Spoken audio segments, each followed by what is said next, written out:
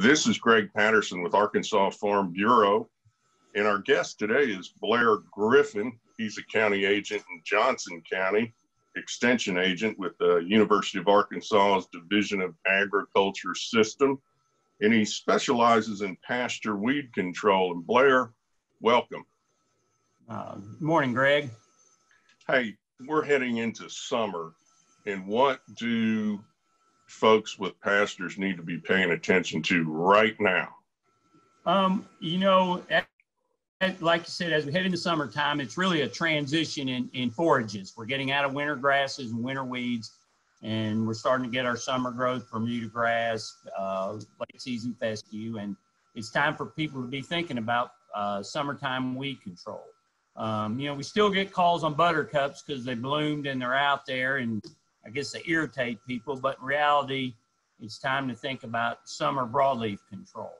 Um, you know, a lot of people, if you talk to them about spraying right now, they all want to wait till more weeds come up. They think it's too early and they think the weeds are small and that there's going to be more weeds later in the season. And it's, it's one of the mistakes people use because um, reality, if you treat right now, you'll get excellent control more economical control because you can control small weeds with some cheaper herbicides.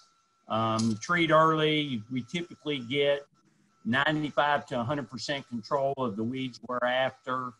Um, you know, the traditional herbicides like 4D, the Grazon, Trooper PDs that have been around for 30 or 40 years still work real well. They're inexpensive.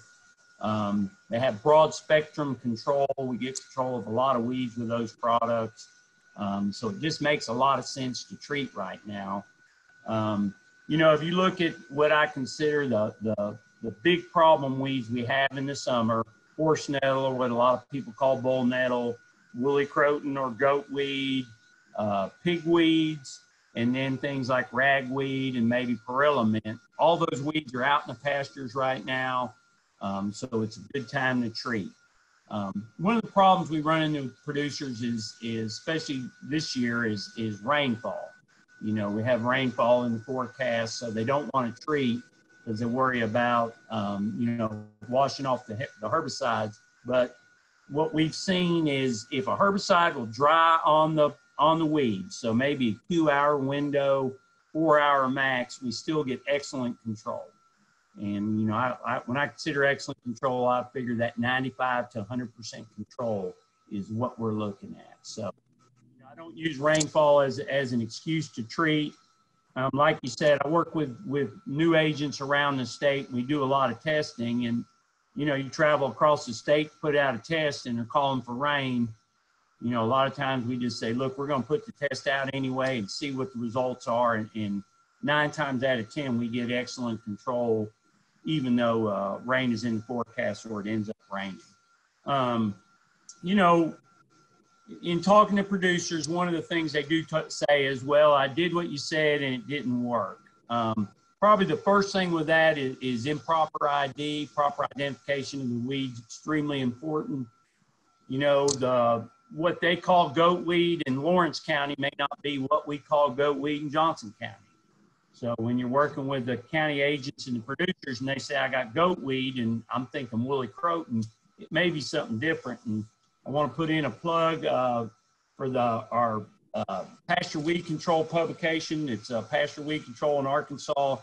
It is a for sale publication. It's about $5. You can order it at your extension office, but it does an excellent job of, uh, of explaining what weeds um, we have in Arkansas color pictures, um, how to control it, and when to spray.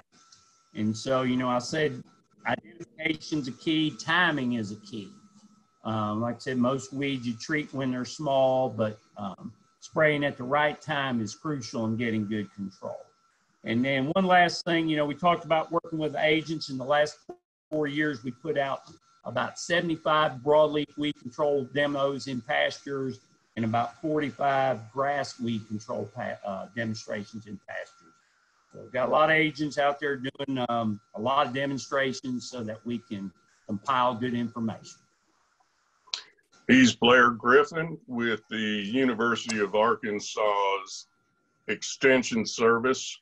And Blair, thank you so much for that reminder to our producers to get out there right now. We've got good weather coming up, no excuses and get those pasture weeds under control. Thank you, sir.